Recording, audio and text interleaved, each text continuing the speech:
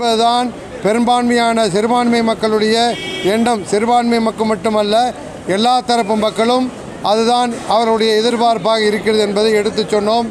அதை எல்லாம் காது செவிமடுத்து கேட்டு எங்களுடைய கோரிக்கையை படித்து அவர் மாண்பு முதலமைச்சர் அவர்கள் நிச்சயமாக சிறுபான்மை மக்கள் தமிழகத்தை பொறுத்தவரையிலும் எந்த ஒரு சிறுபான்மை மக்களும் பாதிப்பதற்கு தமிழக அரசை விடாது.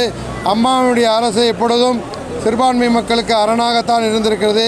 அதே வழியிலே ஆட்சி செய்கின்ற நானும் அதைத்தான் பின்தொடர்வேன். நிச்சயமாக உங்களுக்கு எந்த விதமான பாதிப்பும் வராது என்று சொன்னால் இன்றைக்கு பல பேர் இதனை பலவிதமாக பேசி கொண்டிருக்கிறார்கள். அது எல்லாம் உண்மையல்ல அது பிற்காலத்தில் உங்களுக்கு தெரிய வரும் என்று சொல்லி எங்களை தெளிவுபடுத்தியிருக்கிறார்கள். நிச்சயமாக அவருடைய பேச்சு எங்களுக்கு ஒரு நம்பிக்கையை பார்த்திருக்கிறது வருகின்ற சட்டமன்ற தொடரிலே கூட அதற்கான ஒரு நல்ல செய்தி வரும் என்று சிறுபான்மை மக்களாகி நாங்கள் எதிர்பார்த்திருக்கிறோம்.